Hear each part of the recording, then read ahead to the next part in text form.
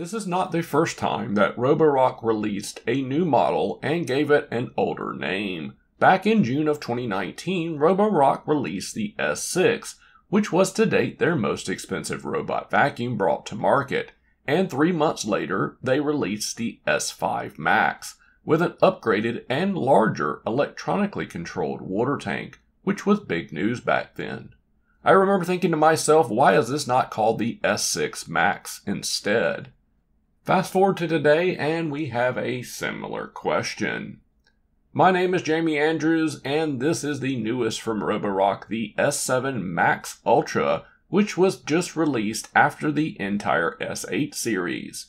I plan to tell you what sets it apart from the similar yet much older S7 Max V Ultra, and then put it in a direct head to head match with the Q Revo, which comes in at a cheaper price tag and has nearly all the same features and specs. The S7 Max Ultra is available with a retail price of $1,400 and can be purchased in either white or black. Since I have fully reviewed the S7 Max V and the Ultra Dock in prior videos, I'll leave a link to those in the description below and just highlight the few changes that have been made, starting with the robot itself. The first big change to the S7 Max is with the object avoidance system, which lacks the RGB camera and a second structured light sensor found on the older S7 Max V. The video calling feature with audio is obviously gone as well. The results of these downgrades on the S7 Max can be seen here in this side by side comparison, where I put both robots through my obstacle avoidance course designed to detect the things I feel most people care about. The S7 Max V, while not perfect, greatly outperforms the S7 Max in this test. Flipping the robot over, we see less cliff sensors on the S7 Max, which are missing the two rear ones. Up front, we see Roborock's new style bristle side spinning brush. The brush roller is the same between the two, except the way the ends detach, making it much easier to remove hair on the newer version. The S7 Max has the same exact vibrating and lifting mopping system referred to as VibraRise, which made its first debut on the S7 released several years ago, although now totally gone is the ability to remove the entire mopping plate. The main onboard water tank is the exact same 200 milliliters in size, and while the one on the older S7 Max V is removable, the new one is fully integrated. Roborock also decided to drop that cool multifunction LED light on the lid for the S7 Max. On a positive note, the vacuum motor is rated at 5500 pascals, an increase of 400 pascals over the older S7 Max V. Love it or hate the design, the Ultra Dock looks just like the older dock that I reviewed last year, but it's been upgraded to include a built-in dryer for the mop and the dock drain, a newly revised dock drain filter, and an improved self-cleaning system. While technically you can add a dryer to the older Ultra Dock, it will cost you an extra $100 and only dries the mop and not the dock drain. Those are the main changes between the S7 Max Ultra and the older S7 Max V Ultra. If you want a premium S series all in one robot from Roborock, but don't want a camera or you could care less about object avoidance, the S7 Max starts to make some sense, as long as it's cheaper. Let me know if you're interested in a direct head to head test between these two robots in the future. Now for the comparison to the Q Revo, which I've been so excited to produce. We're not only comparing two closely spec'd robots, we're comparing Roborock's first take at a spinning mopping pad system versus the proven VibraRise mopping plate system. Then there's the Ultra Dock versus the more simple yet slender Revo Dock. The S7 Max actually has a bunch in common with the Q Revo.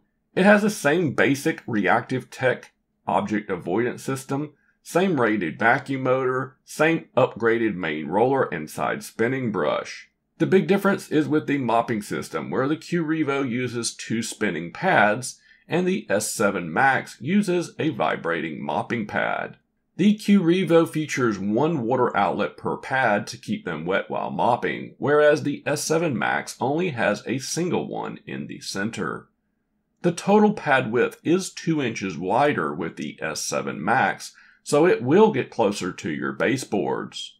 The S7 Max contains a larger 200 milliliter onboard water tank, whereas the Q-Revo only has a smallish 80 milliliter tank. Other differences are up top the Q-Revo is missing a dedicated spot cleaning button found on the S7 Max.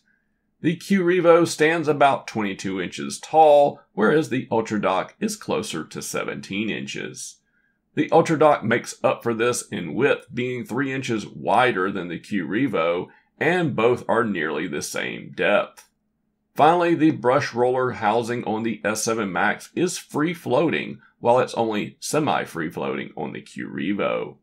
Their docks are full featured and both have the same functionality, except for the UltraDock boasts a self cleaning option. I'll have more on my thoughts on that later.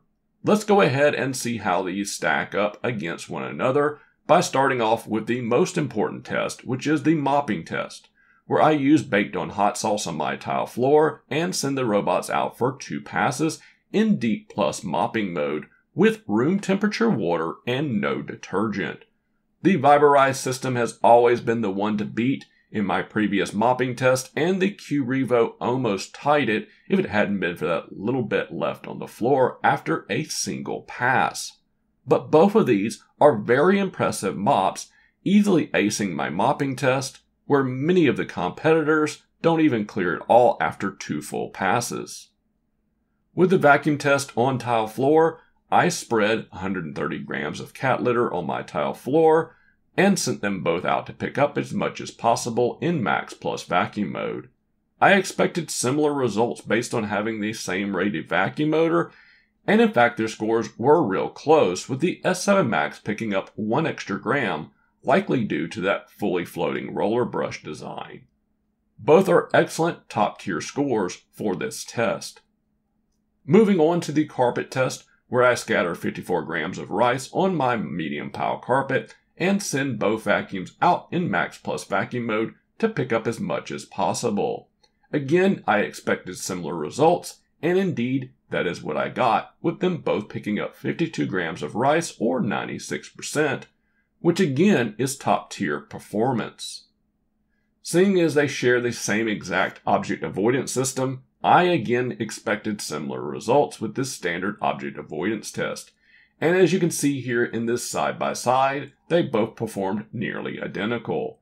The reactive tech system is not great at detecting objects, and when it does, it gets really too close. Roborock claims the Q-Revo can lift the mopping pads 7mm, which is higher than the 5mm on the S7 Max. But what I found is in reality, they are nearly identical since the mopping pad on the Q-Revo sticks down enough to make up for most of that difference. I tested this by having them go from my hard floor to my rug with both water levels set at high and found that only the edges of the rug were wet and the main part of the rug was only slightly damp. So in my opinion, they're both fairly effective for low to medium pile carpet. Mopping on hard floor surfaces, I wanted to compare these two by measuring their water consumption. The UltraDock has much smaller water tanks when compared to the Q-Revo, which should be a downgrade, right? To figure this out, I used 2000 milliliters of clean water in their clean water tanks and sent both robots out to each mop three rooms totaling 160 square feet.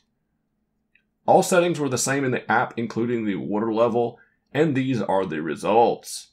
The S7 Max used a total of 550 milliliters of clean water and recaptured 500 milliliters in the dirty water tank, which in turn assumes the robot itself used 50 milliliters of water during the mopping job. The Q-Revo used 910 milliliters of water and captured 775 milliliters in the dirty water tank, which in turn assumes the robot used 135 milliliters of water during the mopping job. It's obvious the Q-Revo uses more water for pad cleaning and mopping, which explains the need for the larger water tanks. To further break this down, both used roughly 18% of their total clean water tank capacity during this test. So there's really no advantage for the larger water tanks found on the Q-Revo. In fact, using more water also means using more detergent, so keep that in mind. Let's continue comparing these two docks, starting with some other specs like sound and power readings. This is a breakdown of their noise level while both washing their mops and performing an auto empty. And here is a quick comparison of the power draw when performing an auto empty and while drying the mopping pads. And as you can see, the Q-Revo uses a bit less power overall. Both passed my auto empty test with the S7 Max clearing a full dustbin of dirt and hair in just one session, just as the Q-Revo did in my last video review. The UltraDock dried the mopping pads in 2 hours flat, tying the Q-Revo. However, you should know the dock sink in the Q-Revo was completely dry after 2 hours, while the S7 Max still had water in the dock drain filter and base after 4 hours of drying.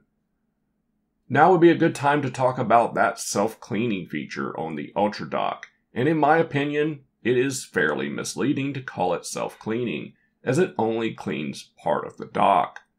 On the UltraDock, you have to remove this filter and clean it separately. Plus, you have to clean under this since the water drains through this filter into the dock base.